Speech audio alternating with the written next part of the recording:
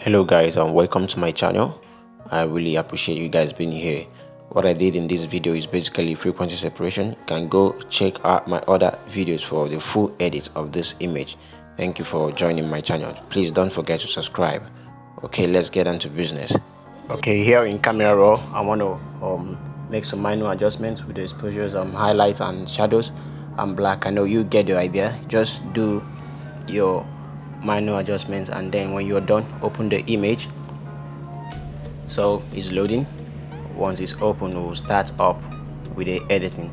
So here it is um first of all i want to crop my um, image because i normally crop them for instagram. So i'm going to crop it for instagram. So if i'm done i will hit ok and it crops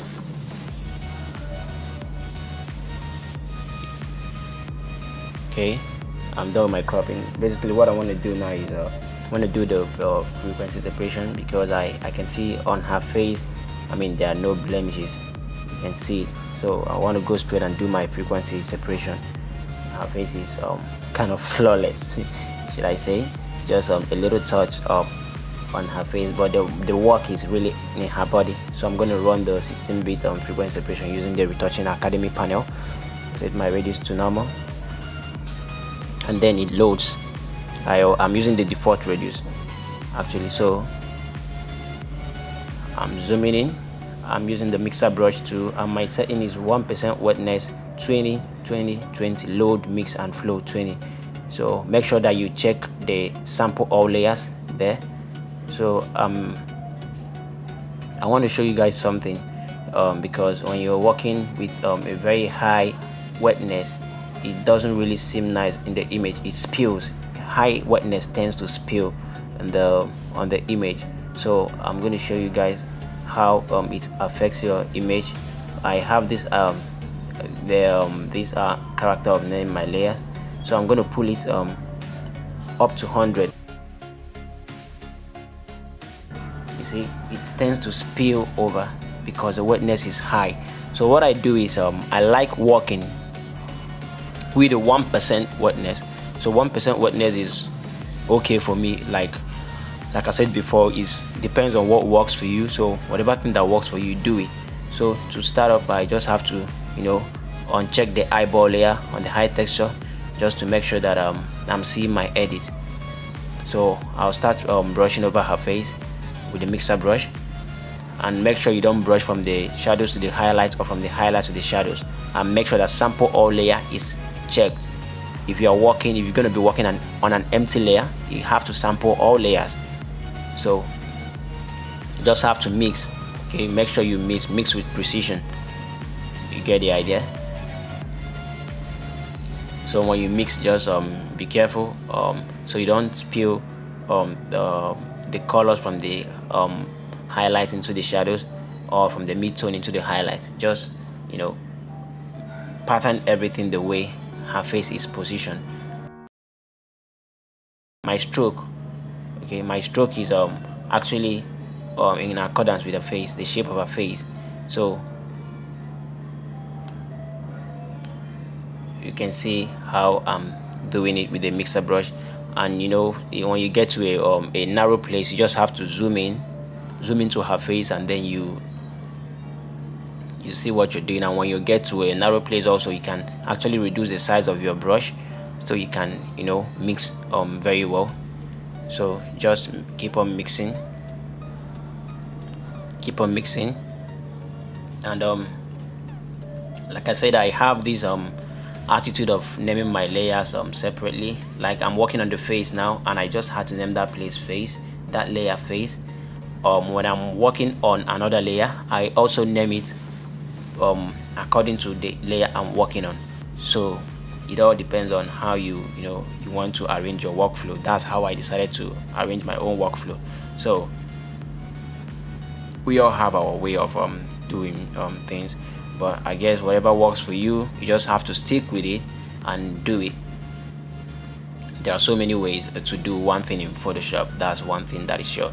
So everybody cannot do the same thing because we are different individuals so I'm still on the mixer brush. Remember my my settings are 1% wetness 20 20 20 for the load mix and um, flow respectively.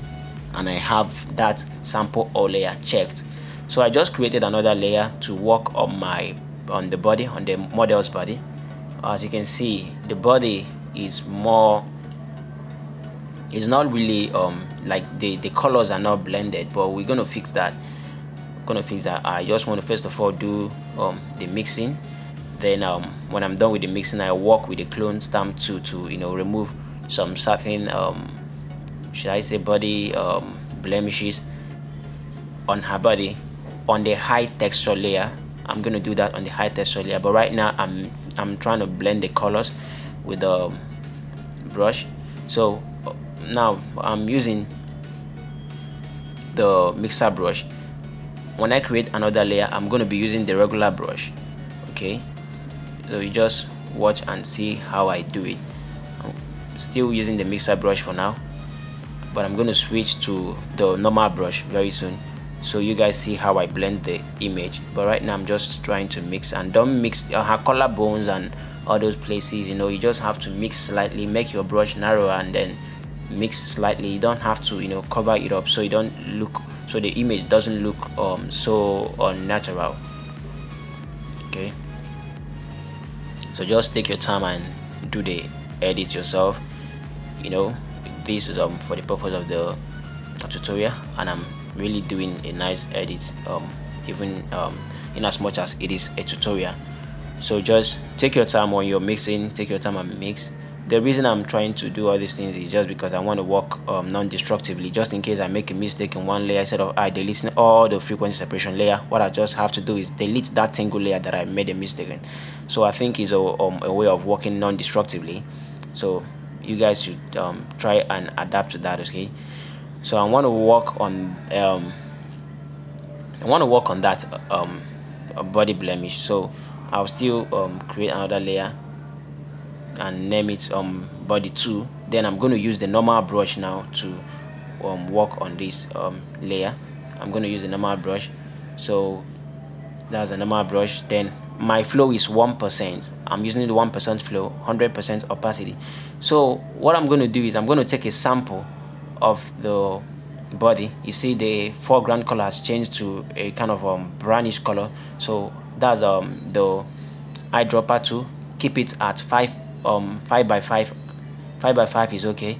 So just um after you're done go back to your brush tool go back to your brush tool that's the eyedropper tool i'm taking a sample. Can go back to your brush tool press alternate to take a sample. And then brush using the regular brush not the mixer brush this time around. Brush using the regular brush. Like i said um this video is divided into um different parts. Um, for the purpose of this video what I did only is just the frequency separation. Um, the next video um, I'm going to upload I actually um, did um, liquify liquify and then I did um, I maxed out the background to bring in more white to it. So that's what I did. So just keep on mixing I'm using the regular brush like I said. I'm working with the regular brush. So I just want to mix the whole thing so that the image looks real. So just mix um make sure you're mixing very well. Um take um cognizance of the places that you're mixing the highlights and the shadows and you know all her collarbones and other things. Don't just you know flatten it. Okay when you're done you turn off and see if you're you're making progress. That's the before and the after. So still have to you know do some couple of things here because I can see. So the face I just want to touch down um, some things. Just want to um, mix some places very well in the face so you get the idea. You know when you're mixing you know you when sometimes you zoom out and then pause a bit you know we see um some certain places you just have to you know still correct or work on. So that's the main reason you zoom in and out sometimes to make sure that everything is properly mixed. But I'm using the um, regular brush tool here the normal brush tool with still 1% flow and um, opacity. 1% flow and 100% opacity you get the idea. Just mix you just have to narrow down the size of your brush um, when you're getting to a more narrower place.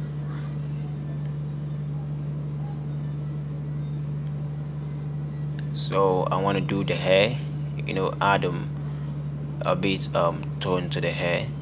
So um, I still I'm still using the regular brush too the normal brush too not the mixer brush. So you can see the before and the after how it's looking. Now I want to um, fix um the body because I can see there are some you know um, um, blemishes on her body. So I'm going to work on the high texture layer with the clone stamp too so what I'm basically doing here is um I'm alternate clicking to take a sample from a place from the part of the body that has no blemish and then click it and drag it um, onto the place that has blemish so I'm zoomed in now you see. I'm clicking and then dragging. Alternate click to take a sample and then um, drag it on on that blemish. Um, it's a stretch mark. So you have to remove it because um, when you're retouching you don't have to leave um, anything that um, looks like a blemish on the body of your model or subject so that's what I'm doing. I'm using the clone stamp tool to work on the high texture layer. Probably um, I think working on the high texture layer with the clone stamp tool gives um, a very good result overall. So I'm almost done with this edit. You can see the before and the after. I want to do my dodge and burn and there's a way I normally do my dodge and burn. I don't know. It's personal to me um, some of you might approve of it some of you might not but I think it works for me. I duplicate the dodge layer severally and then duplicate the burn layer severally just to make sure that I'm working non-destructively. Just in case if I make a mistake I just have to you know delete that particular layer. And I make the size of my brush um, big a bit um, then flow 100 opacity 100 and then I go to the place I want to dodge and burn and then um, I'm doing the dodge first so I make the size of brush bigger and paint across the face. Just paint across the face with 100% flow and opacity. I turned off my frequency I turned off my frequency separation layer just to see the places that um, the light fell before I mixed it. So flow 100% then paint. Then um go to another layer. Then touch it down as you can see you think it's not really looking nice but don't worry. You will see the result of it when I'm done with this edit. So you can see what I'm doing. I'm basically adding um, light to the place that um, that the light fell. So what I'm going to do I'm going to filter blur Gaussian blur. I'm using the Gaussian blur. Then I increase my radius up to a point that the blur seems to fade away the point that the blur seems to fade away. You can just try different radius um, depending on what um, works best. Then I hit OK when I'm satisfied with the blur amount that I I want. Then go to the next layer do the same thing Gaussian blur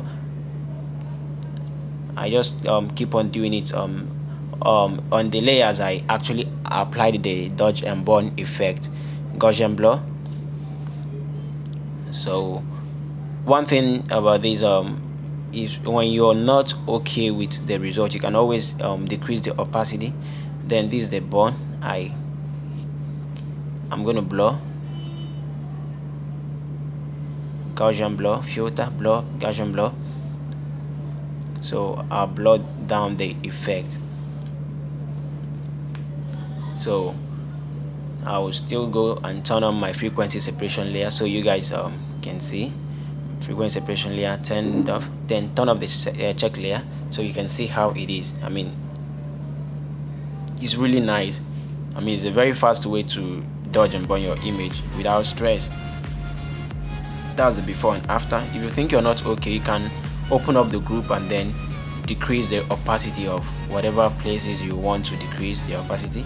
Just decrease it a bit until you're satisfied with the result think that's for me is a very fast way to you know dodge and burn my image. Because dodge and burn I creates um it helps shaping the face of the image. So I'm basically done with the editing. So you can see it's um, a nice edit after all. Um, please um, do subscribe to my channel and um, click the like button if you love this retouching video. Um, I will see you on the next one because I'm actually working on the next version of this video